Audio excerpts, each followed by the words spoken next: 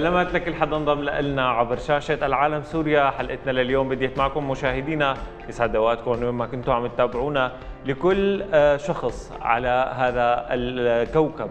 خلينا نبدأ وأيضا على هذه الأرض وعلى هذا الوطن بتحية جميلة وتحية يعني آه، مليئة بكل الأمنيات بالسعادة بالثبات. والأهم اليوم الثبات على آه، التبدلات اللي عم نشوفها. صح.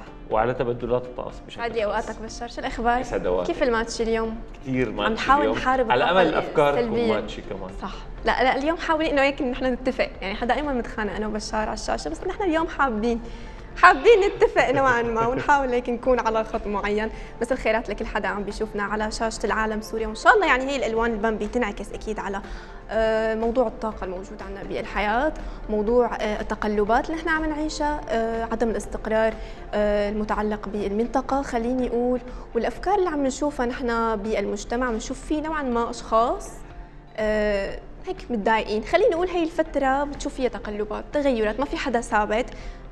شوف يمكن يمكن الطقس فيه له دور أوكي؟ هلا. بس نوعا ما الشيء اللي أنا عم شوفه آه، في أشخاص فجأة بدون سبب تنقلب مزاجاتهم آه، بصير في تبدلات بأفكارهم.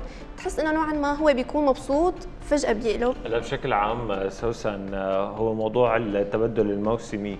آه، إذا بدنا نقول آه، آه، دائما يعني آه، ممكن يأثر على آه، طباعنا على آه، ردات فعلنا وخاصة بهذا الوقت من العام. تبدل الربيعي أو عفوا الصيف والخريف وأيضا الخريف والشتاء. دائما بتصير ردات فعلنا كثير هيك مبالغ فيها. حساسين زيادة عن اللزوم ببعض الأوقات حتى موضوع الاكتئاب بينشط هي الفترة وخاصة الأشخاص الصيفيين. إيه عندهم صيفيين مشكلة ب- بالعودة للطقوس الشتويه لا لا التصاير اعطاني بشار فورا دليل على موضوع إنه الأشخاص فعلا فورا بيتبدلوا، أوكي صح أنا نكشته يعني خلينا نتفق إنه أنا نكشته لبشار، بس موضوع تبدل المزاج عم نشوفه موجود فعليا، يعني حدا عن إنه في أشخاص بيكونوا محفزين للتغير المزاجي، بتلاقي إنه شيلك من الطقس، الظروف المحيطة خليني أقول آه، بتساهم بأنه الشخص يتضايق وبتساهم بإنه الشخص ما يكون رايق. يعني وقت بتشوف إنه أنت okay أحوالك آه، الاقتصادية أحوالك النفسية تمام بتطلع على اللي حواليك هن ما مبسوطين هن ما رايقين فأنت already حتتضايق. وقت تشوف الأشخاص أو بتشوف أهالينا أكيد يعني بفلسطين يعني الحبيبه آه، عم بيعانوا عم بيعانوا بأبسط الأشياء. عم بيعانوا بتأمين المي بتأمين الأكل بتأمين الأدوية. إذا الشخص هلأ وقت فكر بأنه الشتاء أصلا اجى وهن قاعدين بخيام ما فيهم يحموا نفسهم من مطر ممكن ينزل عليهم ما فيهم يحموا حالهم. هن قاعدين بمكان بتفكروا إنه هو ملجأ لأشخاص مثلا بيكون آمن بتنزل عليهم الصواريخ. فلحالك أنت بتتضايق أنت قاعد بمكان آمن وبتحس بأنه أوكي هلأ بس مشان أنا قديش في أنانية؟ هيك التغير نتفق هلا مشان نتفق على الموضوع. أوكي. آه، حاليا وبالمنطقة بشكل عام ما في حدا آمن وخاصة على موضوع آه، الاعتداءات اللي عم تكون من قبل الاحتلال. فبالتالي آه، يعني آه، الحالة آه، أيضا ممكن تساهم بهذا الموضوع. أكيد الأمنيات دائما بأنه نكون آه، عايشين بسلام نكون عايشين بأمان. ونكون عايشين أيضا بمحبة. يمكن شوي المحبة بتطغى على هي الأحاسيس يلي ممكن نقطع فيها على هذا التبدل يلي ممكن يشهد وينشط آه، آه، بهذا أو بهي الفترة من العام. آه، بالمحبة بنقدر نتغلب على كل شيء. وأكيد المحبة لكم مشاهدينا رح نكفي فيها بحلقتنا لليوم. رح نروح لفاصل صغير ونرجع لنكون مع جولة ومجموعة من الأخبار بعد الفاصل.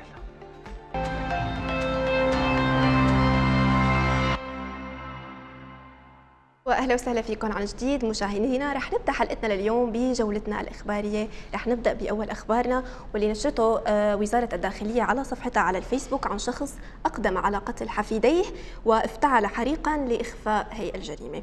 بتفاصيل الخبر ألقى قسم شرطة مدينة اللاذقية الشمالي القبض على شخص قتل حفيديه ضمن منزله بحي قنينيس في اللاذقية إثر خلافات عائلية وفق ما ذكرته الوزارة على الفيسبوك. قالت الوزارة بأنه الجد افتعل الحريق لإخفاء جريمته وأسعف نفسه إلى المستشفى بعد تعرضه للحروق.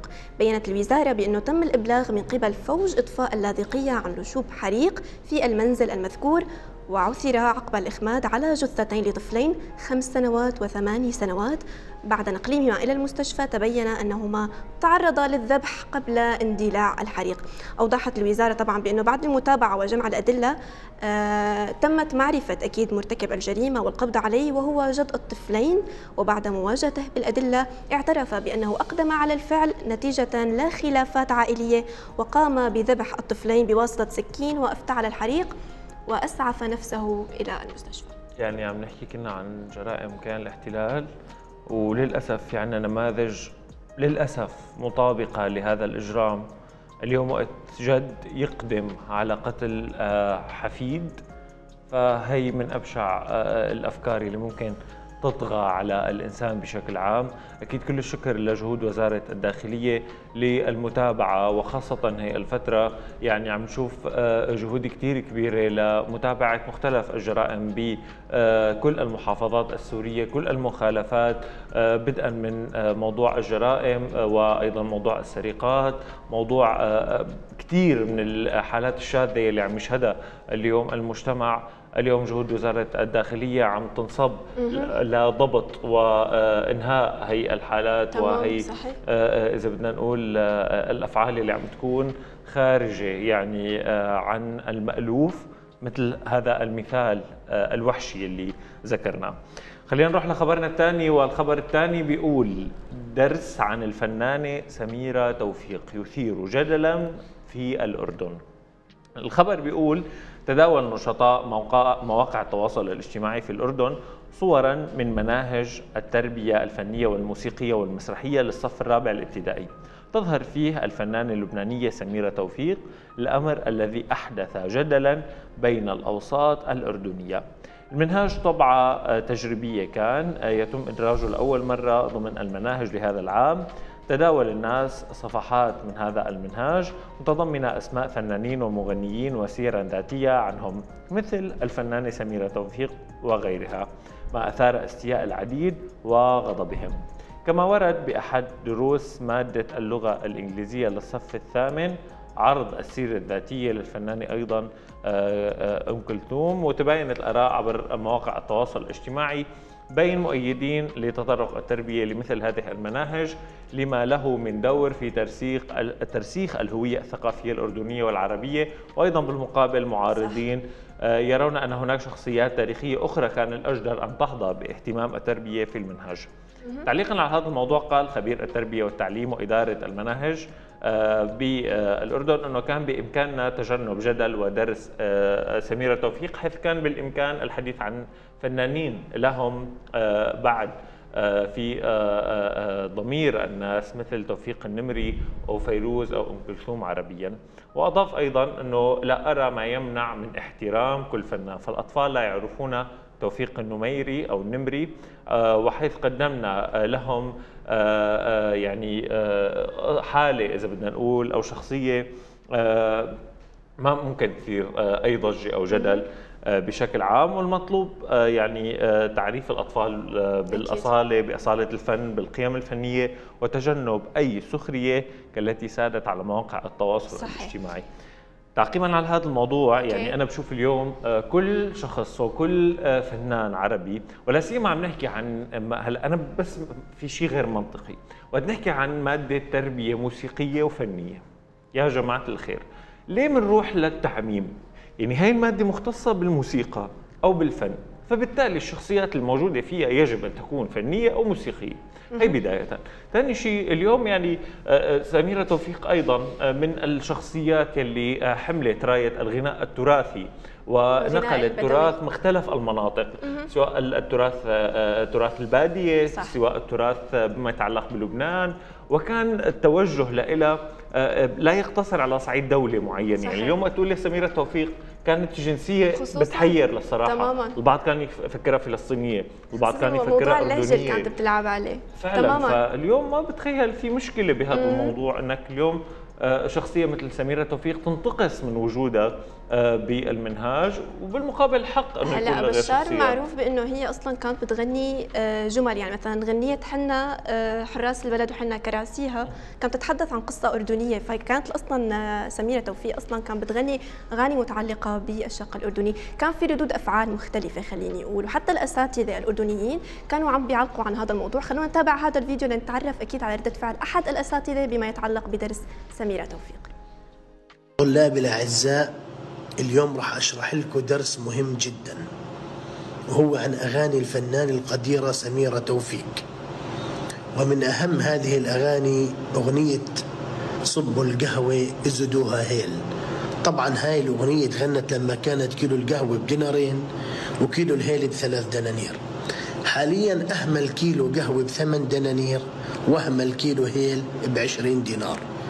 فلذلك أنتم مش راح تصبوا قهوة ولا راح تزيدوها هين ومن أهم الأغاني أغنية حنا كرأس البلد اللي ولا واحد فيكم راح يغنيها لأن هاي الأغنية خاصة بأصحاب المعالي والمسؤولين المقربطين بكراسيهم. وأنتم خليكوا على أغنية أسمر يا خفيف الروح مواطن خفيف لطيف ما تغلبش حدا. والحصة القادمة راح أشرح لكم إنجازات الفنانة فيفي عبده والفنانة نجوى كرم. يعني بشار شفنا إنه في ردود أفعال عم بتكون مختلفة حتى على مواقع التواصل الاجتماعي في أشخاص كانوا عم بيقولوا إنه سميره توفيق هي من الأسماء والقامات وبنفس الوقت في أشخاص كانوا عم بيقولوا إنه لا ليش ما بنخصص مناهجنا للأشخاص؟ أو خليني أقول الأسماء والفنانين الأردنيين نرجع بنقول هي موضوع اختلاف آراء وأكيد لجنة تحديد المناهج أو تحديد المواد اللي لازم تكون بالمنهج بدنا نعرف أكيد بهذا الموضوع. خلينا نروح لخبرنا الأخير اليوم مشاهدينا بجولتنا الإخبارية واللي بيتحدث عن موضوع متعلق بالنشاطات والسلوكيات اللي بيرتكبها البعض بعملية تنظيف الأذن. دراسات وأيضا أبحاث عديدة كانت عم بتخبر أو عم تحكي عن موضوع أو الإجراء الصحيح لتنظيف الأذن واللي إحنا ممكن خلينا نقول الغالب من الأشخاص بيقوم فيه هو موضوع تنظيف الأذن بقطن. أو خلينا نقول باعواد قطن التنظيف.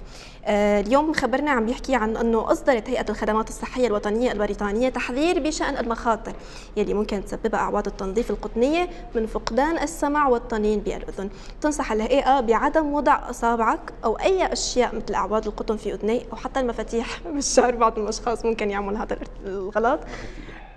مم. ابشع الشغلات أكيد. حتى لو كنت عم تعتقد بأنه هي ممكن تكون مسدودة هذا الشيء أكيد ممكن يساهم بزيادة الانسداد أو دفع الجسم الغريب يلي داخل على الأذن. بيشرح الخبراء بأنه من خلال إدخالك لهي الأعواد فأنت عم بتساهم ب آه، يعني تجريح أو خدش. طبلة الأذن ناهيك عن موضوع آه، فقدان السمع أو حتى الطنية اللي ممكن يكون لفترة مؤقتة أو حتى فترة طويلة الأمد. الخبراء بيقولوا أنه استخدام الأعواد آه، القطن ممكن يؤدي في الواقع إلى فعل عكسي بدل التأثير المطلوب فبدل من إزالة الشمع فنحن ممكن ينتهي فينا الأمر بأغلب الأحيان لدفع الشمع إلى داخل القناة الأذنية. بينصح الخبراء بدل عن هذا الإجراء أكيد بغسل الأذن بالماء الدافئ أثناء الاستحمام. هذا الشيء رح يعمل على تليين الشمع الموجود بداخل الأذن وأيضا يجعل الأمر سهلا بإزالة الشمع. وشفنا كثير من الأشخاص كنت عم أقول لك عن موضوع استعمال الأدوات الغريبة موضوع المفاتيح.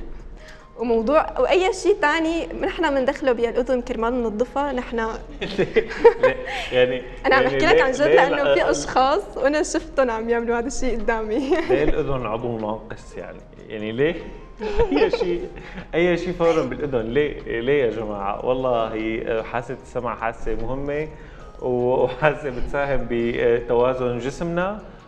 فبالتالي بلاها هاي العادات وقدر الإمكان يعني هلا ما مشان ما نطلع عم عم ننظر على العالم أي. ولكن. بالمقابل يعني آه، اليوم أيضا صحة الأذن مثل مثل آه، صحة أي آه، عضو بالجسم هي كانت أخبارنا لليوم رح نروح لفاصل صغير ونرجع لنشوف أخبار الفلك كيف مكفية بعد هذا الفاصل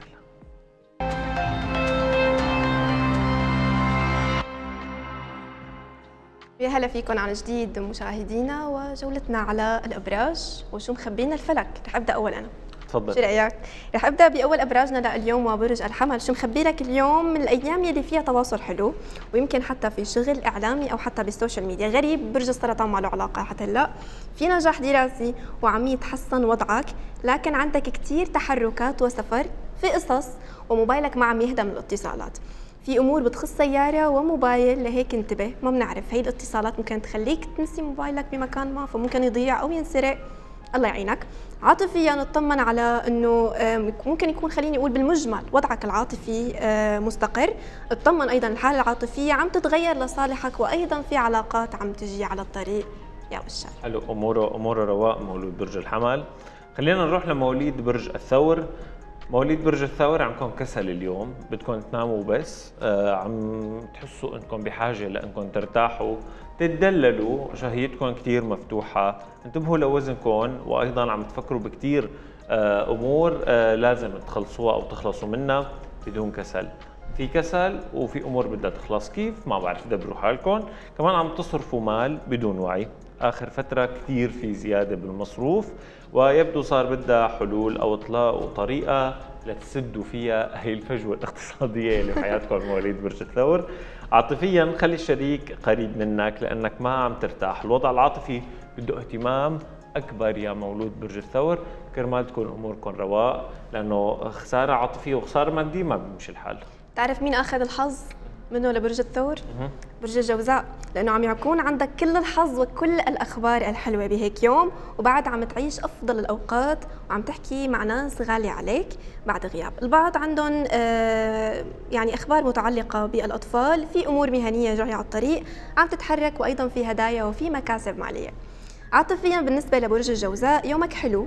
عم تنجذب أو خليني أقول عم تجذب الكل وعم يكون عندك حضور حلو والحب عم بدق بابك وفي شخص عم يرجع لك. فيعني اموره رواق. إن شاء الله يكون جايب معه شيء. بسطي عنه مشاعر أنا بنبسط دائما وقت بكون في برج بربطه شخص بالواقع فيعني ها مواليد برج السرطان شكلك طرقتيهم عين جبتيهم أرض أرض. برج السرطان كان عندهم شغل إعلامي. إن شاء الله ما تركوا شغلهم بسببي استفتحتي حديثك فيهم فبالتالي للأسف يعني أوضاعهم ابدا مو رواق مواليد برج السرطان السرطان انتبهوا لوضعكم بالبيت مع الأهل مع العيلة مع المقربين. يمكن في تغيير لمكان شغل أو سكن. انتبهوا من أعطال ببيتكم. حوادث المطبخ لا تبيعوا لا تشتروا عقارات. يمكن بعدك مو مرتاح وفي شيء صحي وشغل ضمن مؤسسة ممكن يجيك بعجقة هالطاقة السلبية اللي موجودة لليوم. عاطفيا هدي ولا تنفعل وخلي علاقاتك بعيدة عن الناس وخليك حذر من المقربين لا يخربوا عليك يا مولود برج السرطان وأكيد الجهود مشكورة لسوسن على هاي الطاقة اللي بثت لكم إياها. أنا بالعادة ما يعني أصلا وقت تقول إنك أنت ضربت حدا عين ما أنا موجود أصلا يعني. وما عندي حسد وما بغار يعني. إن شاء الله ما بكون أنا السبب. يا رب ما أكون أنا السبب. تعال نروح هلا لبرج الأسد. الأمور عم تكون لصالحك. شفت معناته أنا ما بحسد حدا. الأمور عم تكون لصالحك لتصل لكثير من الأشخاص عبر ال social media. يمكن عم تنشهر فجأة ويكون عندك شعبية وحضور. شهرة فجأة بعد الكلمة اللي قلتيها بالمقدمة. ما؟ قولا واحدا. أيوه اجباري لك المصدر عم يكون عندك ليك شعبية وحضور وعم يسطع نجمك إن شاء الله بالخير يا رب. في أصدقاء عم ترجع تتواصل معهم وبيكون في لمة حلوة وعزيمة أخ. عاطفيا اطمن في اتصال بفرحك وعندك تقارب حلو واطمن حالتك العاطفية عم تتغير للأفضل. فإن شاء الله هيك الله يبشرك بالخير. ضيفنا وتحلونا هون بالمكتب. كلياتنا بدنا شكرا الله يخلي لنا إياكم يا رب. ما؟ وأنا أنا أنا اليوم عرسي يعني حياتي الاجتماعيه هي بالمكتب وشغلي هو بالمكتب. فبالتالي يوم العرس أو يوم الخطبة رح يكون أوردر هيك. خطبة بشار. إيه عرس بشار. بينزل مع المهام الوظيفية إنه من الساعة كذا للساعة كذا كلياتنا مجتمعين بالصاله الفلانية مش عم نحتفل لا تنزل هدايا لأنه خلص يعني ما في حياة اجتماعية هي الحياة ما أنا حتى بحس بطل في عندي حياة خاصة. ما بحسني حياتي هون. خليني أروح لمولود برج العذراء. آه، الأمور عندكم يا مواليد برج العذراء آه، فيها مشروع شغل وقصص مالية عم تشتغلوا عليها. استغلوا الفترة الجاية لتعملوا شيء مهم أو آه، تستلموا شغل جديد أو توصلوا لشهرة وتقابلوا ناس على مستوى عالي. عندكم اختبار أو امتحان ممكن تخضعوا له أو لقاء مهم فجهزوا حالكم وجهزوا أدواتكم مثل ما بيقولوا لتكونوا قد هذا اللقاء. عاطفيا اطمنوا أنتم بأفضل فترة مع أشخاص معجبين فيكم. عندكم علاقات على مستوى. بدي منكم بس تعرفوا كيف تختاروا الأنسب لشخصياتكم. يا مولود برج العذراء مو أنا الفلك هيك بقول لكم مو أنا اللي أنا ما خصني ما لي علاقة. عاطفيا يعني أمورهم تمام ولا بدهم كله؟ كله رواق. أوكي رواق منيح. طيب برج الميزان الأمور عم بتخلص. وخليني أقول أنت أقرب لحتى أنت تختار كرسي باي وسيلة من وسائل السفر لأنه في سفر وفي تغيير على الطريق. عم تعمل تصفية كثيره لأشخاص موجودين بحياتك لهيك حاول تستغل العلاقات بشكل إيجابي وتستغل العلاقات الخارجية لأنه تذكر ممكن تسافر. خاصة إنه في شغل بعيد أو في شخص ممكن يدعمك بحوالة وعم يكون من الأيام الكثير مبشرة بالخير عندك.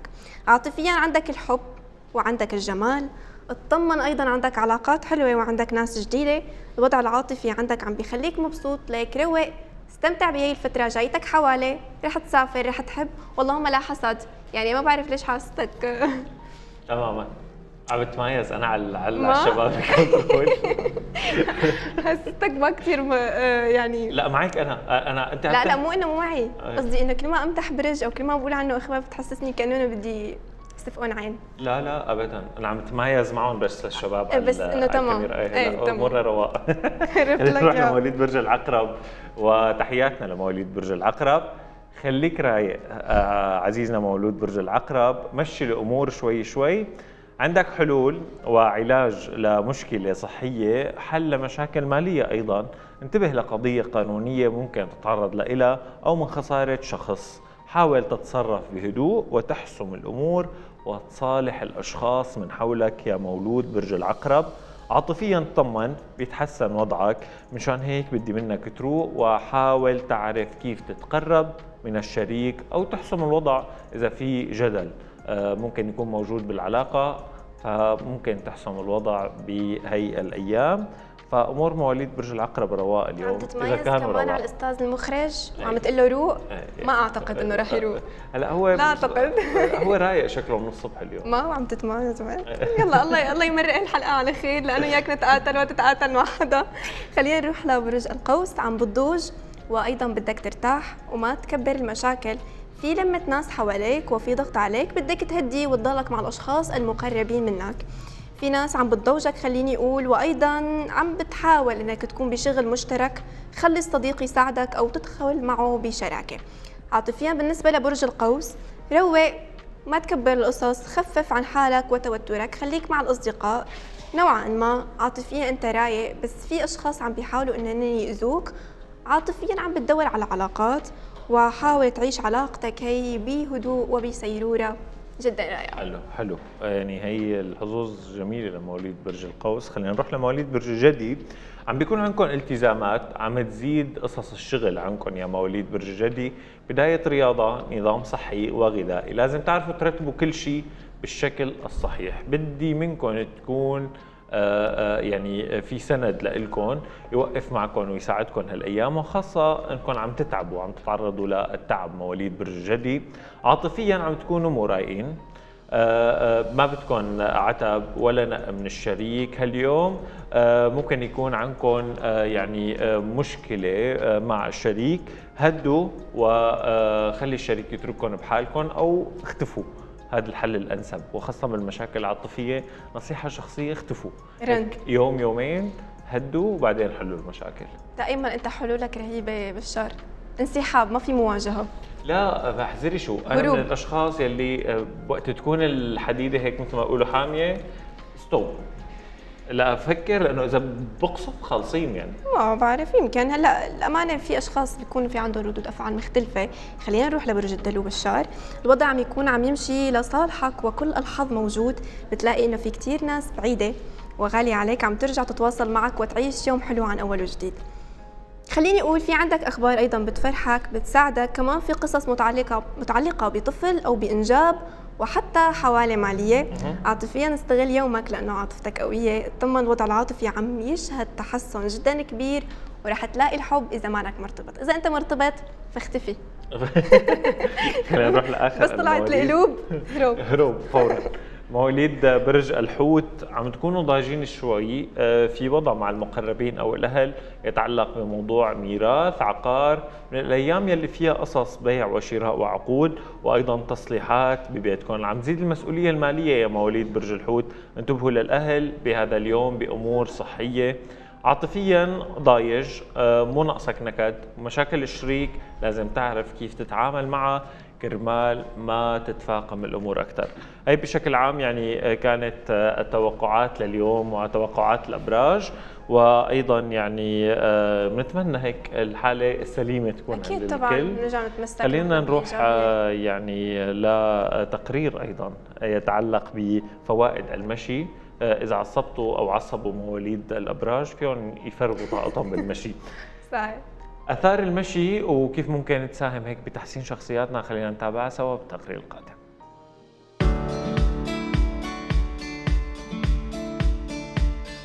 ما بين المشي وتوفير الطاقة أو اتجاه البعض لنشاطات حركية أخرى خلال اليوم يختلف الكثير من الأشخاص حول مدى تطبيقهم للنشاطات البدنية. فيما ينصح الخبراء دوما بتكثيف السلوكيات الرياضية اليومية وعدم إطالة مدة ارتخاء العضلات.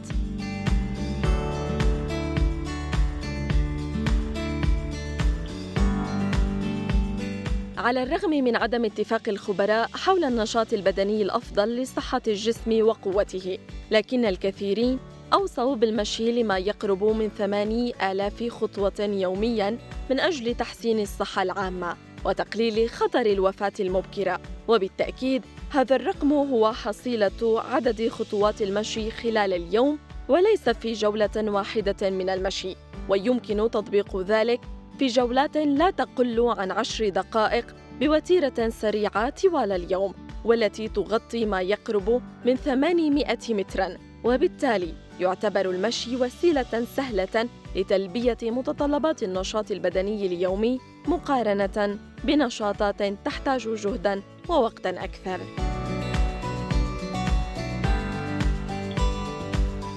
يشير الأطباء إلى أن المشي سواء بسرعة عالية أو بسرعة منخفضة له أهمية كبيرة للجسم كإنقاص الوزن وحرق الدهون الزائدة في الجسم بالإضافة إلى أن المشي يقلل خطر الإصابة بأمراض القلب وخفض ضغط الدم وإعادته لمستواه الطبيعي. ما يمكن قوله أن الاعتماد اليوم على المشي يساهم في تعزيز الوظائف الإدراكية وتخفيض خطر الإصابة بأمراض الدماغ كالخرف والزهايمر فالمشي يؤهل الدماغ كي يرتب المهام ويصنفها ويقلل مشاعر الحزن والاكتئاب ما يترك آثاراً كبيرة على الصحة العقلية أيضاً.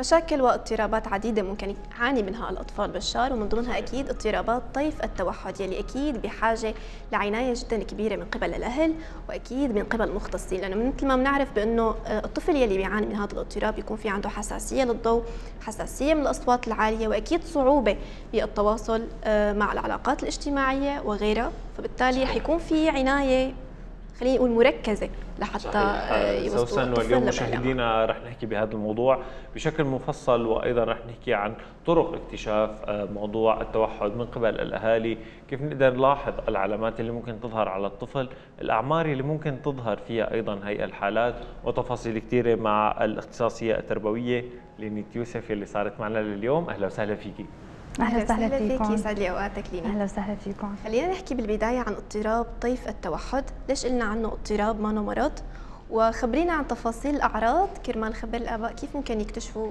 هي الأعراض عند الطفل وأيضا يتم التشخيص؟ هلأ بالبداية نحن بنقول عنه اضطراب ما مرض لأنه للأسف هو ما له علاج.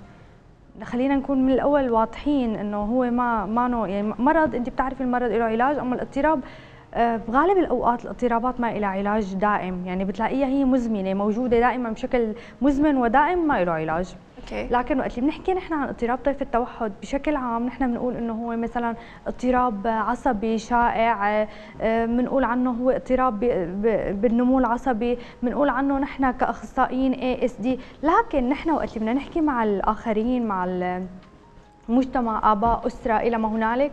بنحاول نكون اللغة أبسط من هيك. يعني فيني أقول إنه هو عبارة عن حالة شاذة بتكون موجودة بالمجتمع. هي الحالة الشاذة بتكون آه، موجودة أثناء نمو الدماغ بشكل رئيسي. يعني بتكون مشكلة موجودة رئيسية بالدماغ أثناء النمو. يعني بتكون بتأثر على المهارات التطور المهاري عند الأطفال. يعني فينا نقول إنه بتأثر على المهارات اللغوية مهارات حركية اجتماعية مهارات التعلم اللي بيكون هو مسؤول عنها الطفل. وقت اللي بيروح على المدرسة بيكون ما ما قادر يتعلم. آه هيك يعني بيكون أنا عندي طيف توحد أو بيكون عندي توحد. وقت اللي بيكون عندي هي أكثر من من من إشارة بتدلني إنه في عنده توحد. تمام تماما أستاذة لينيتي اليوم يعني موضوع الأعمار آه، دائما بياخذ جدل آه، وخاصة من قبل الأهل. آه، اليوم بأي عمر بنعرف إنه الطفل عم بيعاني من طيف التوحد؟ هلا السؤال هون آه، في في إشكالية لأنه نحن بنعرف إنه الحمد لله نحن مجتمعنا إلى حد ما يتمتع بثقافة معينة. صحيح. لكن مو كل الأمهات تتمتع بالثقافة المطلوبة لرعاية الأبناء. صحيح. في عندنا أمهات الحمد لله هن قادرين من الأشهر القليلة الأولى يقدروا إنه هن عندهم طفل عن جد عنده توحد. بنلاحظ آه، نحن في عندنا أعراض معينة بتسأليها للأم بتقول إنه أنا عندي كذا وكذا وكذا. أنا حسيت إنه ابني ما طبيعي. بس في عندنا أمهات للأسف بيروح الابن على المدرسة وبيكونوا عم يطالبوه يكون إنسان طبيعي وعم يحملوه أعباء زيادة لكن آه، ما في عندي استجابة ابدا. اذا أنا عندي من الأعمار الأولى يعني فيني نقول أنا من ثلاث شهور ممكن أعرف إنه أنا عندي ابني ما طبيعي في عنده توحد. صحيح, صحيح. طيب. هلأ بنشوف بأنه آه، كثيره هي الأفكار المتعلقة باضطراب طيف التوحد بنسمع بأنه بعض السلوكيات يلي بيرتكبها الطفل يعني هو بيكون طفل سليم منذ الولادة لكن هو بيقوم بسلوكيات. أهله بيتركوه مثلا على الشاشة أهله بيتركوه مثلا بيتصرف تصرفات مختلفة فبالتالي بيصير معه اضطراب طيف التوحد.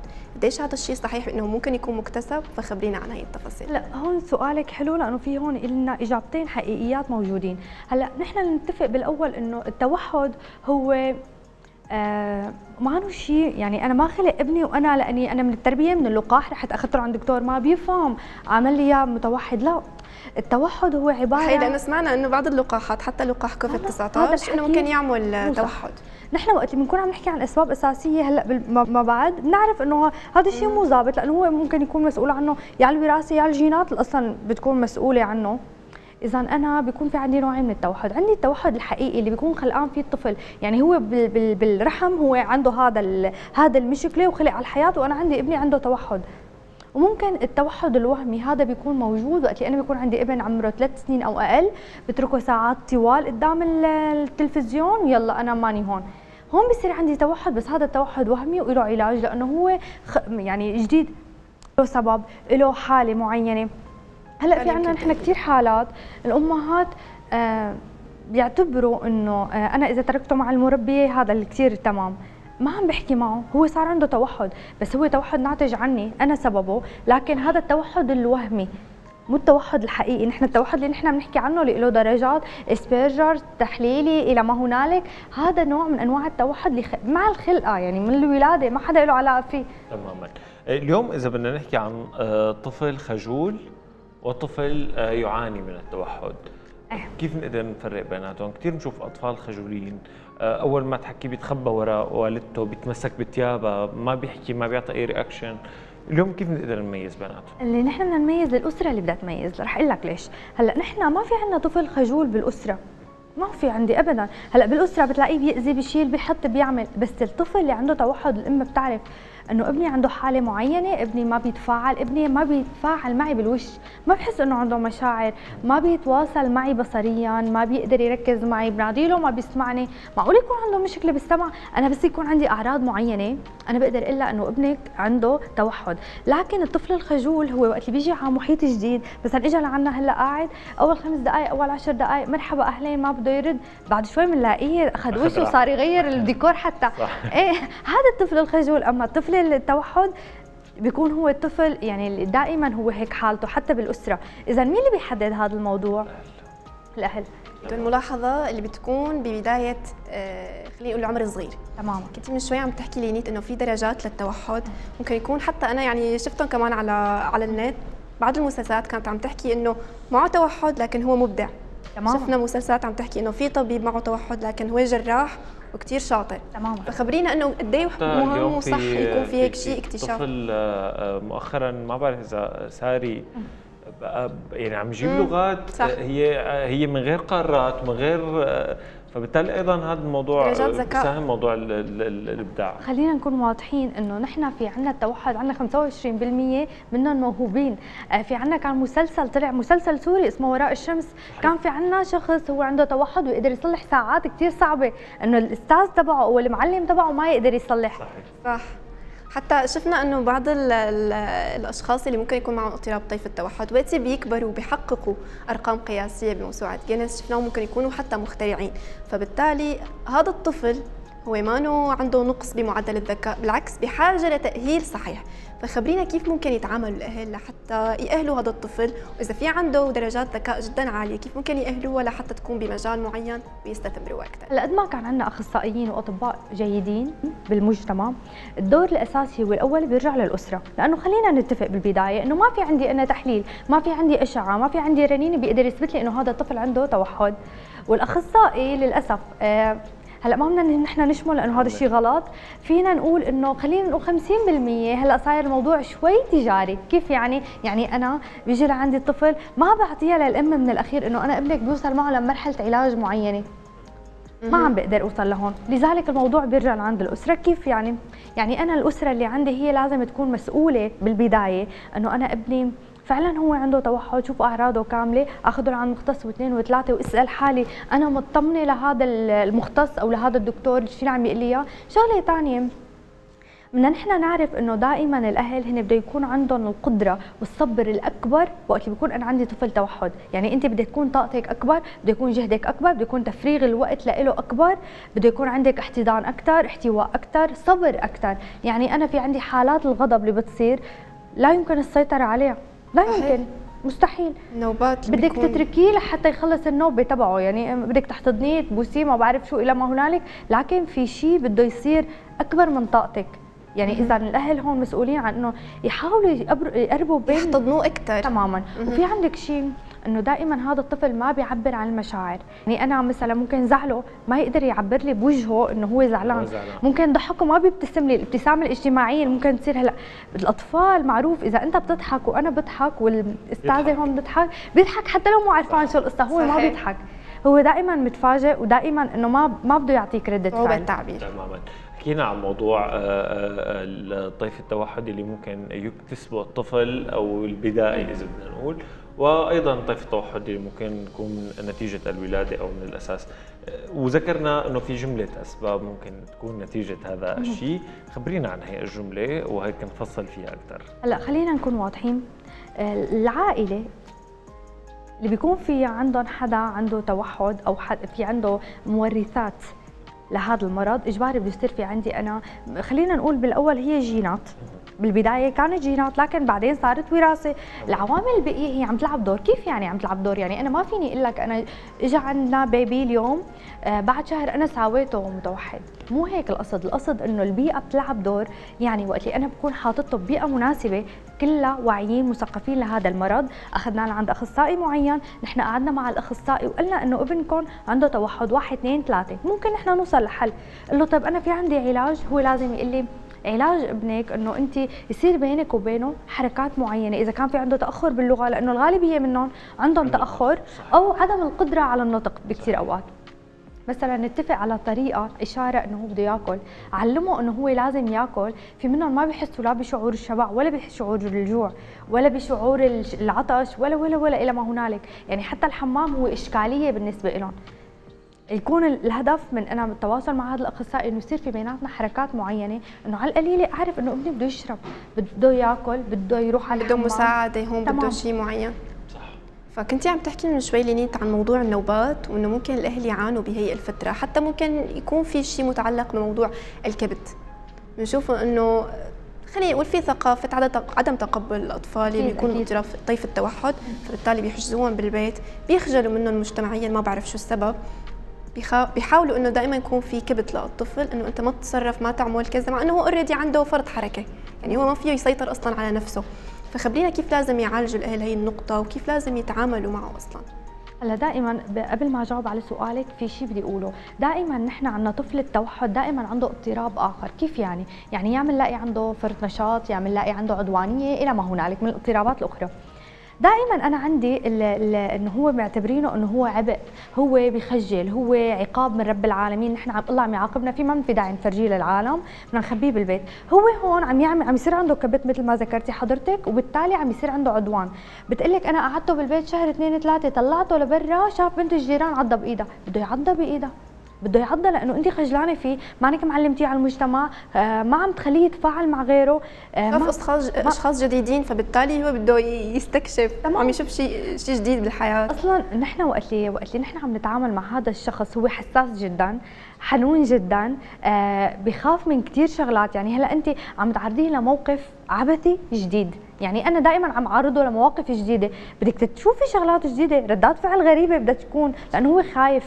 لكن أنا بدي أقعد خبيه بالبيت وما أعترف فيه ولا آه، اقبل حتى إنه أنا إني أنا عم بعمل له مشاعر مكبوتة هذا الشيء بدي أعمل له يعني اذى داخلي له أنا بشوف عنده بالبيت بتلاقي في عندنا طفل واحد متوحد والأخوات البقايا منع. بتقلي ما عم يخليهم يدرسوا ما بيخليهم ما بيخ... طب أنت ليش ما عم تطلعيه تفوتيه تعملي له نشاطات تعلمي؟ تهتمي فيه.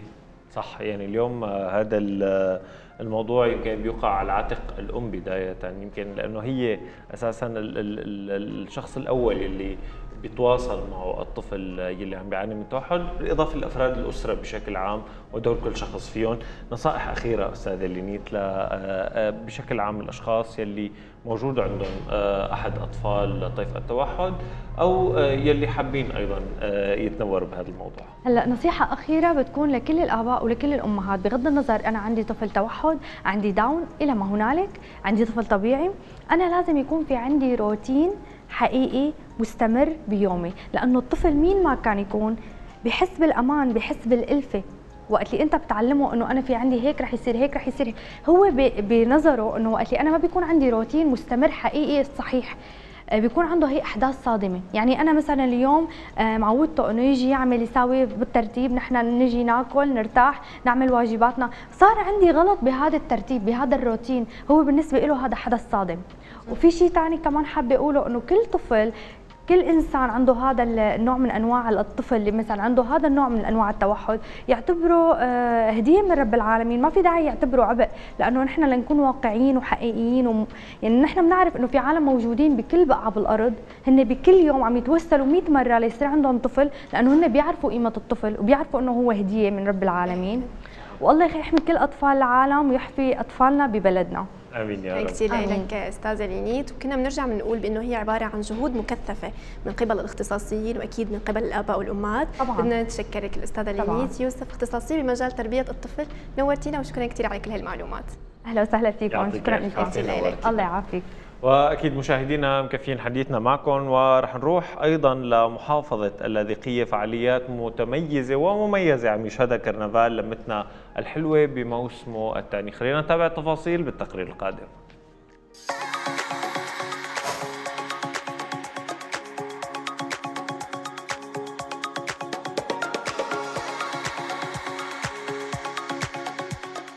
اليوم نحن مقطقين كرنفال لمتنا حلوة اثنين آه، ضمن حملة متصلون بسلام لعام الثامن على التوالي. اليوم الكرنفال هو عم عم يضم مجموعة من الأقسام اللي هي معرض منتوجات يدوية اللي هو بنقول عنه كرمز. آه، إضافة لبوفيه آه، في أكلات طيبة شيء شغل المتطوعين والإداريين. في قسم الألعاب الأطفال في عندنا مساحة هيك لطيفة ليكون الناس عم تقعد تشرب قهوة شاي أو تاكل أي شيء بدها إياه. إضافة إنه في عندنا سينما بدنا نعرض مجموعة من الأفلام اللي هي بتستهدف الأطفال والشباب بشكل عام. نحن مشاركين منتجات للسيدات الريفيات عم نعرض لهم إياها والبيع ريعهم البيع بيعود لهم للسيدات الريفيات. فهيك بازار بخلي الناس تعرفنا أكثر بخلي الناس تلمس هي المنتجات تشوفها تختبرها تشم ريحتها تشوف يعني إنه قد هي المنتجات مثلا مصداقيتها قد خرج تشتري منها. فهذا الشيء بيساعدنا أكيد وبيساعدنا على الانتشار أكيد.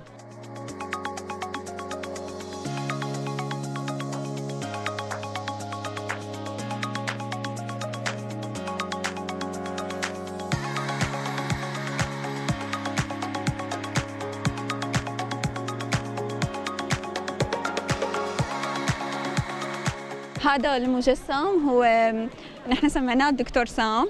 هو بمجسم يعني بيشبه المجسم البشري. آه، حطينا فيه أعضاء بس بطريقة آه، حلوة. آه، وحطينا بكل عضو أسئلة معلومات عامة شيء يعني شيء مفيد ممكن الواحد يتعلم منه يستفيد منه. بيجي لعنا الزائر بي بيشوف العضو اللي هو بيختاره وبيسحب منه. وبيقرا لنا الرسالة المكتوبة. وإذا عنده إضافة إذا عنده استفسار نحن ممكن نجاوبه عليه. هذا أكيد. نحن الجمعية الوحيدة بتعنى بشؤون المكفوفين باللاذقي وضواحيها. وجاي يشارك مع صناع السلام هون بالخيزرة. لأنه نحن عم نحاول نشتغل مكفوفين كلياتهم بالامور الأشغال اليدوية. وجايب منتجاتي هون لنشوف بلكي إن شاء الله الله بيسر أمر يعني وبنعجب الكل هون. مهنتي العطورات أنا طبعا كنت بشتغل فيها من فترة ما يقارب أكثر من سنة عن طريق طلبات بالبيت والتوصية. آه، من خلال فترة قصيرة ما يقارب الشهر أو شهر ونص افتتحت طبعا محل جديد خاص بمشروعي أنا آه، بشارع حنان وعبارة الأطفال. كان هي بداية مشروعي إنه بالعطورات هي إنه فتحت أنا محل بالأخير. آه، بالنسبة طبعا للمشاركة هذا بيعطينا فعاليات كبيرة من ناحية معرفة الأشخاص اجتماع أوسع ومنه كمان بنوسع عن مشروعنا. حبيت شارك بالفعالية بمنظفات آه، مشان نساعد على الحياة الحياة الصعبة. والحمد لله إن شاء الله ألاقي إنه فرصة بهالمشروع والإنتاج إن شاء الله يا رب. إحنا مثلا مشتغلين ما عندنا مكان نعرضهم إلا بهيك معارض وبهيك شغلات بشتغل إكسسوارات hand made مشاركة مع الأستاذ يزن يزن الفويتي ب 24 ساعة.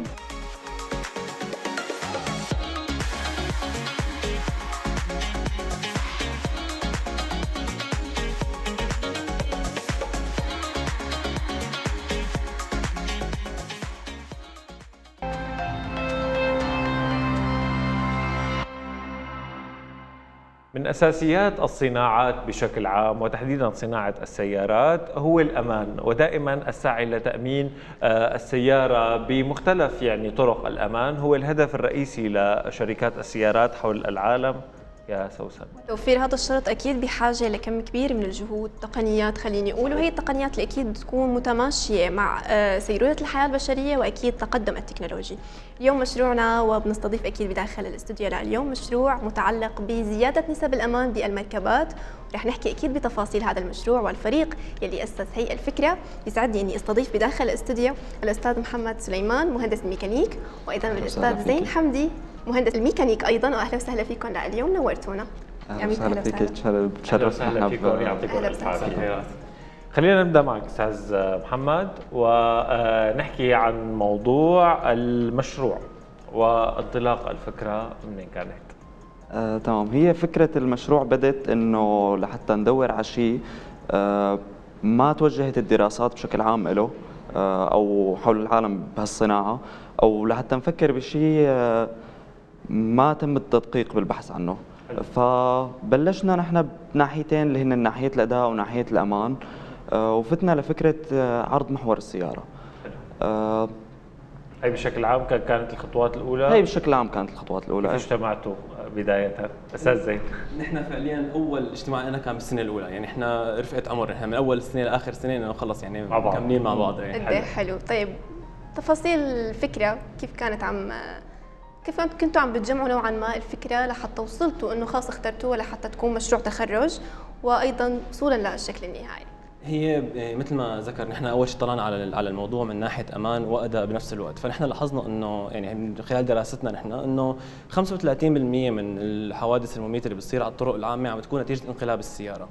فنحن صرنا عم نطلع نحن إنه طب شو الشيء اللي نحن ممكن نعمله نخفف من فرص حدوث انقلاب السيارة؟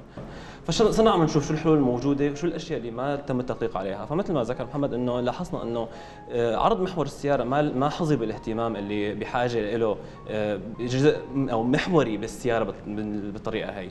فبدأنا عم نشوف نحن شو الأشياء اللي نحن ممكن نساويها شو الحلول اللي صارت موجوده وصلنا بالنهاية إنه نطلع بفكرة آه، عرض محور سيارة متغير، يعني المسافة بين الدولابين على نفس المحور تتغير بشكل تلقائي أثناء انعطاف أو مناورة بالحالات الخطرة. حلو.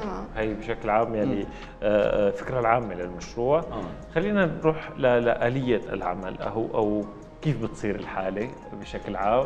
آه خلينا تمام. نحكي شوي. هلأ بداية كانت آه، فكرة المشروع إنه يصير عرض محور السيارة متغير آه، بآلية ميكانيكية بحتة حتى ما يصير في تعقيدات أو آه، إدخال منظومة هيدروليكية أو آه، يكون تطبيق المشروع آه، يكون كثير بعيد على أرض الواقع.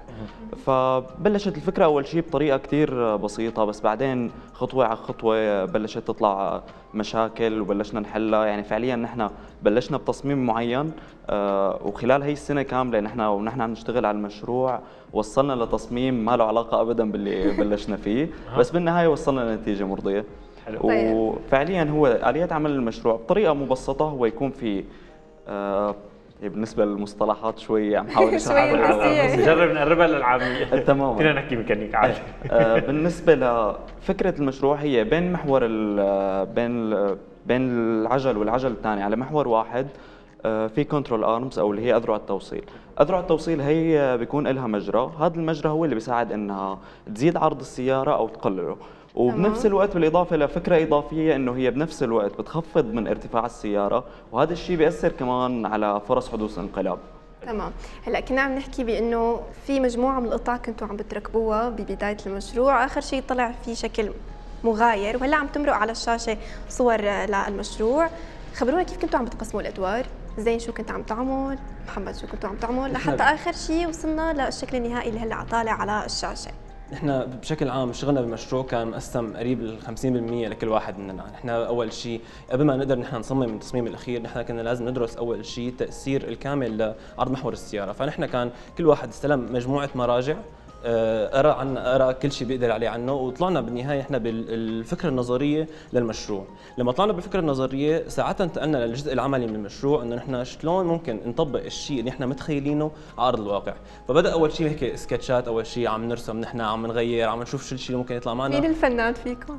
آه، هل بالرسم هو. اعتراف فوري اي بصراحه آه، فضلينا هيك عم نغير نحن بالفكرة لغاية ما وصلنا نحن يعني حتى نحن عملنا مثل timeline صغير نحن شلون تغير المشروع. وفعلا نحن مرينا بشيء عشر نماذج مختلفة لغاية ما وصلنا نحن للفكرة الأخيرة اللي هي فعليا كانت أبسط فكرة آه، يعني وأسهلها تطبيقا كمان يعني. حلو. اليوم بين الورق وال- وال- والتطبيق على أرض الواقع ذكرت إنه وصلنا لنتيجة ما كانت مثل اللي مقرر إنه تكون. آه، قديش في في في آه، لازم يكون control إذا بدنا نقول على هذا الموضوع؟ إنه أنا عندي ورق ولكن هذا الورق بده يصير شيء ملموس بين إيدي. هي الطريقة هي إذا بدنا نقول الخطوات آه، قديش لازم يكون في عليها control من قبلكم من قبل أصحاب الفكرة؟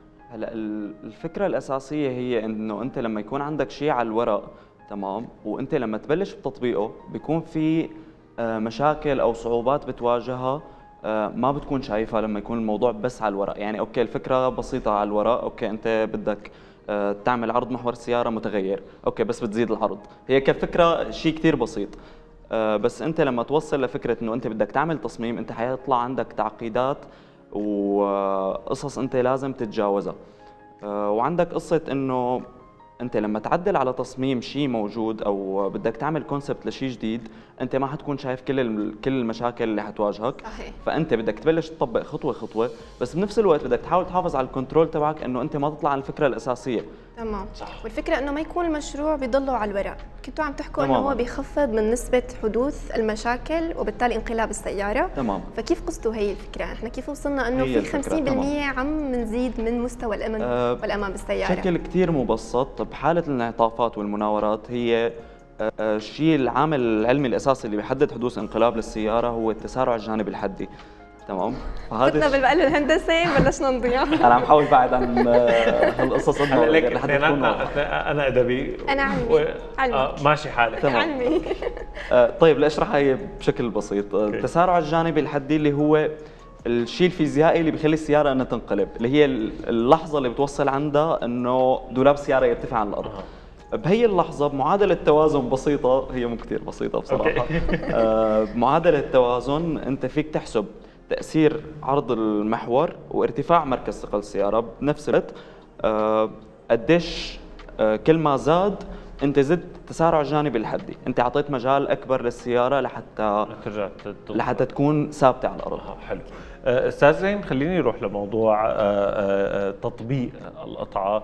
في حال وصلنا للاختراع بشكل عام مرحلة وجودها بالسيارة هي مرحلة التصنيع أو لا؟ يمكن إضافتها لأي سيارة موجودة. قادرين نضيف هي القطعة. هلا هي فعليا ممكن تصير بالحالتين. هلا أي مشروع أو أي نموذج هندسي لازم يصير لازم أول شيء يطبق على الكمبيوتر. آه. فنحن عندنا أول شيء بنعمله نحن انه بنعمل نوع من المحاكاة من على الكمبيوتر للأبعاد اللي نحن متاحة قدام عيوننا فنحن إذا تم تبني مشروع مشروع نحن بأحد الشركات المصنعة للسيارات بكل بساطة رح يتم تعديل جسم هيكل السيارة بحيث إنه يستوعب هالإضافة اللي نحن حنضيفها نحن على السيارة. فهو عبارة عن آه، أحد اجهزه الأمان الإضافية اللي بتشتغل بالتناغم مع أجهزة الأمان الأخرى بالسيارة. أما إذا بحالة السيارات الموجودة سلفا على أرض الواقع فنحن بإضافة تعديل بسيط على هيكل السيارة هلا هو بسيط نظريا بس لحتى انك تقدر انك فعلا تطبقه انت لازم يكون عندك انت آه، تاخذ ابعاد دقيقة لازم يكون عندك انت مثل يعني الرسم الأساسي للهيكل. تعرف انت بالضبط وين المكان اللي تقدر انك تضيف فيه الإضافات اللي عندنا نحن. فنحن فعليا في اضافه إضافتين تنحط على الهيكل وإضافة صغيرة على أذرع التحكم بنظام التعليق. طيب هلا آه، زين كنا عم نحكي بأنه أصلا الروح غالية فهي اوريدي نحن ما فينا أصلا نقارن بأنه إذا هذا الجهاز رح يحمينا فبالتالي هو رخيص أو غالي. رح يكون مقابل الروح حيكون أرخص. لكن آلية التطبيق وكنت عم تحكي عن تبني هذا المشروع في حال شركة سيارات حبت إنه هي تتبنى كيف رح يكون التكاليف؟ كيف رح يكون سهل إنه هن يضيفوا هيك إضافة فبالتالي رح تزيد من نسب آه، شراء هذا النوع أو هذا الموديل من السيارة. هلا أهم شيء يكون في عندنا نحن نوع من آه، خلينا نقول آه، مجال مجرى أو مكان للاختبار. لأنه إحنا معظم الأشياء اللي إحنا خصوصا بعلم هندسة السيارات الأشياء اللي بتصير على الكمبيوتر ما ممكن نحن نطلع بالقراءات الدقيقة ليتم تجريبها على أرض الواقع. فلحتى يتم فعلا آه، آه، يعني حتى إنه يتم اعتماد هيك مشروع لازم يتم تجريبه على سيارة يشوفوا الفعالية الفعلية. فنحن بالأبعاد اللي كانت عندنا نحن نسبة فرصة انقلاب السيارة زاد قلت عفوا بنسبة 50% فنحن لحتى يتم تبنيه بالطريقة هي نحن عندنا وتكاليف هي فعليا تكاليفه حتكون آه، فكرية أكثر من مادية. يعني إحنا المشروع كلياته بال إضافته كانت ما تجاوزت 14 كيلو جرام على السيارة كلياتها. فانت تخيل أنت عندك سيارة وزنها طنين مثلا أنت ضفت عليها 14 كيلو جرام لتخفض من تكلفة مالية طيب؟ التكلفه الماديه بتعتمد على نوع المادة حنستخدمها يعني هلأ إحنا كل سيارة بتستخدم نوع مادة معينه لانظمه التعليق تبعها. فهذا رح يكون مماثل لنظام المواد اللي حتستخدم حتكون مماثله لمواد نظام التعليق لحتى ما تكون هي نقطة ضعف مقارنة بنظام التعليق نفسه. فنحن هذا الشيء بيعتمد على سعر المادة الخام للجهاز هذا. ومثل ما قلت لكم كمادة إضافية هي آه، كثير بسيطة ككتلة كحجم آه، مقارنة بتصنيع السيارة كلياته حلو.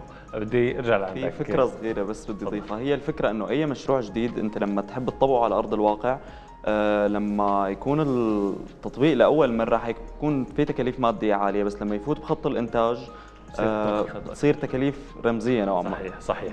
اليوم شو المشاكل اللي واجهتكم؟ آه خلال تطبيق المشروع خلال تطبيق الفكرة في مشاكل معينة عانيتوا منها؟ المعادله البسيطة كنت عم تقول إنه هي معنا بسيطة. هلا هي الفكرة الأساسية بالمشاكل هي كانت إنه تلاقي نقاط الضعف أو اللي هي المناطق اللي حتكون نقاط ضعف بالتصميم نفسه وإنك تطلع بالنموذج النهائي لل للمشروع. وفي فكرة كمان بالنسبة للطباعة 3 دي نحن التصميم عملنا له طباعة 3 دي لحتى يكون واضح. آه الطباعة كانت آه أنت بدك تحاول تناسق بين الأبعاد وتحاول تطبع بطريقة معينة لحتى يكون قابل للتركيب. حلو حلو. بدنا نتمنى لكم كل التوفيق. نحن وقتنا انتهى لكن إذا بتحبوا هيك تتركوا كلمة أخيرة آه الأشخاص اللي ساهموا أكيد وساعدوكم مثل الدكتور فشكرا كثير لكم واكيد لا بنقول شكرا أول شيء للدكتور المشرف دكتور رياض قبيسي دكتور قسم هندسه السيارات هو أكثر حدا كان واقف معنا خطوة بخطوة. ولازم كمان نشكر الجمعية السورية للبحث والنشر العلمي لأنه هي اللي وفرت لنا المكان اللي حنقدر انه إنه نشتغل فيه وندرس. يعني إحنا كنا ناخذ نحن أوقات مثلا نعبي ألواح نكتب ونرسم مدري شو. وغير إنه حتى الطباعة صارت من خلالهم. يعني الطابعة كانت عندهم آه، نحن كنا نشرف على موضوع الطباعة بس هن كانوا موفرين المكان المناسب لحتى نقدر إنه إحنا نطلع شكرا بالنتيجه كثير النهائية. لكم يعطيكم ألف عافية وبالتوفيق الدائم. بدي أتشكر أكيد الأستاذ محمد سليمان مهندس الميكانيك وأيضا مهندس الميكانيك الأستاذ زين حمدي نورتونا وبالتوفيق لكم دائما. شكرا كثير الله يعافيك وأكيد مشاهدينا لهون بنكون وصلنا معكم لختام حلقتنا لليوم. دائما الأمال معقودة على الشباب. شباب سوريا اللي قادر ينهض فيها بأفكاره وبإبداعاته. دائما عم نشوف إبداعات ممتدة بكل فروع الجامعات وأيضا خارج الجامعات. الابداع دائما هو المطلوب وهو الأساس لنقوم بهذا الوطن. أكيد. يعني لهون بنكون وصلنا لختام حلقة دامسكو واكيد بنتمنى أنه نلتقي معكم بحلقة قادمة. تبقوا بألف خير لا تنسوا تتابعونا على مواقع التواصل الاجتماعي الظاهرة امامكم على الشاشة. موعد بيتجدد بحلقة قادمة. تبقوا بألف خير.